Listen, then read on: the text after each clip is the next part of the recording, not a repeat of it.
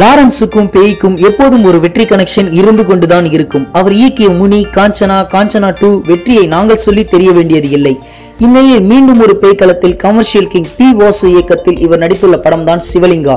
இந்த பேய் மிரட்டியதா பார்ப்போம். சக்தி வாசு படத்தின் ஆரம்பத்திலேயே ஓடும் ரயிலில் இருந்து தள்ளிவிட்டு கொலை செய்யப்படுகின்றார். அந்த கேஸை நீதிமன்றம் தற்கொலை என்று முடித்து வைக்கின்றது. ஆனால் இது கொலைதான் என சக்தியின் காதலி மீண்டும் அந்த வழக்கை எடுக்க யாருக்கும் தெரியாமல் இந்த கேஸ் புலனாய்வு துறைக்கு மாறுகின்றது. லாரன்ஸ் அந்த கேஸை எடுத்து கண்டுபிடிக்க தொடங்கும் முன்னரே அவரின் மனைவி ரித்திகா சிங் மீது சக்தியின் ஆவி ஆக்கிரமித்திருக்கிறது.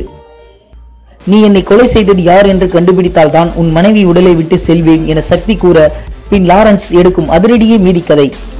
லாரன்ஸ் ஆயிரத்தி ஐநூறாவது தடவையாக பேயை பார்த்து பயப்படுகின்றார். பின் பேய் கூட பேசுகிறார் வழக்கம் போல் பேய் ஆசையை நிறைவேற்றுகிறார். முனி சீரிஸில் பார்த்த அதே லாரன்ஸ் என்றாலும் இதில் அவரின் ஓவர் ஆக்டிங் இல்லாமல் கொஞ்சம் இயல்பாக நடித்துள்ளார். சக்தி இதுவரை நடித்த படங்களிலேயே இதுதான் பெஸ்ட் என்ற அளவிற்கு நடித்துள்ளார். ரித்திகா சிங் பாக்ஸராக களமிறங்கிய ஆண்டவன் கட்டளை படத்தில் ஒரு வலுவான கதாபாத்திரத்தில் ஸ்கோர் செய்த பிறகு தற்போதுதான் தமிழ் சினிமாவில் டெம்ப்ளேட் ஹீரோயினாக மாறியுள்ளார்.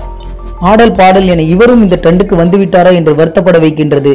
இருந்தாலும் இவர் உடலில் பேய் வரும்போது அவர் கொடுக்கும் ரியாக்ஷன் செம. ஆனால் கவர்ச்சியெல்லாம் வேண்டாம் ரித்திகா. நீண்ட வருடங்களாக ரசிகர்கள் காத்திருந்த இந்த வடிவேலு நீண்ட வருடங்களாக ரசிகர்கள் காத்திருந்தது இந்த வடிவேலிற்கு தான் என்று சொல்லும்படி கலக்கியுள்ளார். அதிலும் யூஸ்மி என்ற வசனம் இனி மிம் கிரியேட்டர்களுக்கு விருந்து. தான் எப்படி திருடினானேன் என்பதை ஊர்வசியிடம் சொல்லிக்காட்டும் இடம் சிரிப்பு சரவெடி.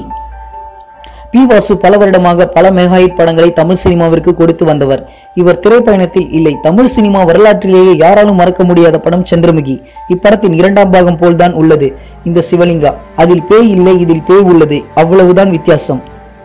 படம் என்னதான் கமர்ஷியல் மசாலா என்றாலும் பல இடங்களில் லாஜிக் மீறல். ஆத்மாவில் நல்ல ஆத்மா என் உடலுக்கு வா என்றால் பேய் வந்து விடுகின்றது.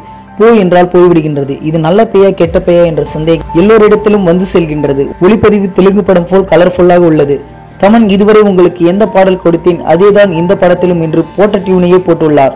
சலிப்பில்லாமல் செல்லும் திரைக்கதை குறிப்பாக கிளைமேக்ஸில் லாரன்ஸ் யார் கொலை செய்தார் என்று கண்டுபிடிக்கும் காட்சி வடிவேலுவின் நகைச்சுவை காட்சிகள் பார்த்து பழகி போன பேய் டிராமா ராதாரவி ஊர்வசி பானுபிரியா என பல முன்னணி நட்சத்திரங்கள் ஏதோ ஜூனியர் ஆர்டிஸ்ட் போல் வந்து செல்கின்றனர். கொஞ்சம் பயன்படுத்தி இருக்கலாம். மொத்தத்தில் தீவிர முனி சீரியலின் ரசிகர்களான நீங்கள் கண்டிப்பாக இந்த சிவலிங்கா உங்களை ஏமாற்றாது. இந்த வீடியோஸ் பிடிச்சிருந்தால் லைக்ஸ் பண்ணுங்க. உங்களோட கருத்துக்களையும் கேள்விகளையும் கமெண்ட்ல போஸ்ட் பண்ணுங்க. மேலும் இது போன்ற பல சுவாரஸ்யமான தகவல்களை உடனுக்குடன் அறிந்து கொள்ள சினிமா நியூஸ் அப்டேட்ஸ் மறக்காம சப்ஸ்கிரைப் பண்ணுங்க.